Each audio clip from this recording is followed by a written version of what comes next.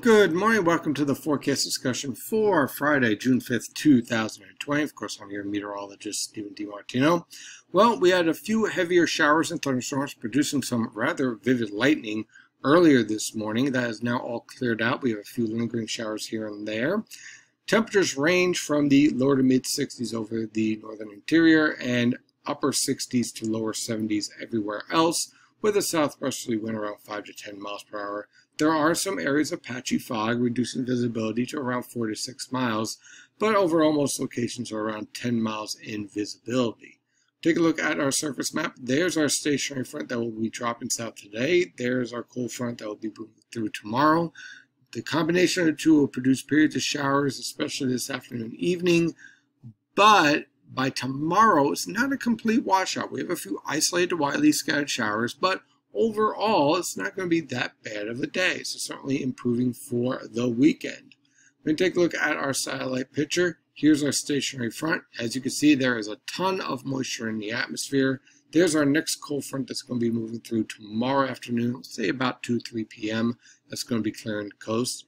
As we can zoom in, you can see we have a lot of low clouds over the region. That's really important because with all these low clouds in place, it's going to limit the potential for instability in the atmosphere. Plenty of moisture, still marginally unstable. So when the showers and thunderstorms redevelop this afternoon, they will be capable of some very heavy downpours and some vivid lightning. So definitely watch out for that, but the severe threat is not as significant as what we saw two days ago. Meanwhile, down in the tropics, we have Tropical Depression Cristobal. Now, Cristobal has winds of 35 miles per hour, thus making it a tropical depression with a pressure around 1,000 millibars. It is now moving to the north-northeast and at 7 miles per hour. A significant increase in forward speed is already being observed. So this is getting picked up by a trough off to our west, and it's not your typical tropical low pressure system in that it has a lot of dry air on the western side of the circulation.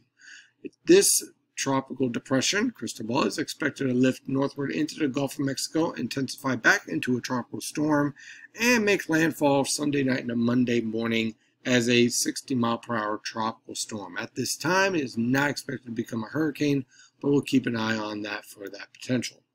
So, walking through the forecast for today, watch out for some showers and thunderstorms, capable of some very heavy downpours. Look for highs in the upper 70s to lower 80s. For tonight, look for lingering showers, some fog, lows in the mid 60s to upper 60s. For tomorrow, the cold front will move through between the late morning hours and the early afternoon hours, clearing off the coast by around 2.30, 3 o'clock in the afternoon. So you're going to remain a threat for isolated to widely scattered showers and thunderstorms up to that point, and then clearing skies thereafter. Look for high temperatures in the lower to mid 80s. For Sunday, high pressure and complete control with clear skies, with lows in the upper 50s, highs in the lower to mid 70s, a few upper 60s on the immediate coast. On Monday, high pressure remains in control with lows in the upper 40s to mid 50s, highs in the lower to mid 70s. On Tuesday, high pressure again produces clear skies to sky cloud cover, lows in the lower to mid 50s, highs in the upper 70s to mid 80s. On Wednesday, high pressure starts to exit with increasing cloud cover, lows in the upper 50s to lower 60s, highs in the upper 70s to mid 80s. And on Thursday, a cold front will approach with periods of showers, especially in the afternoon and evening, lows in the lower to mid 60s, highs in the upper 70s to lower 80s. And on Friday, Look for scattered showers with lows in the upper 50s and highs in the lower to mid 60s. That is your forecast discussion for today. Of course, I'm your meteorologist, Stephen DiMartino, and as always, stay safe out there.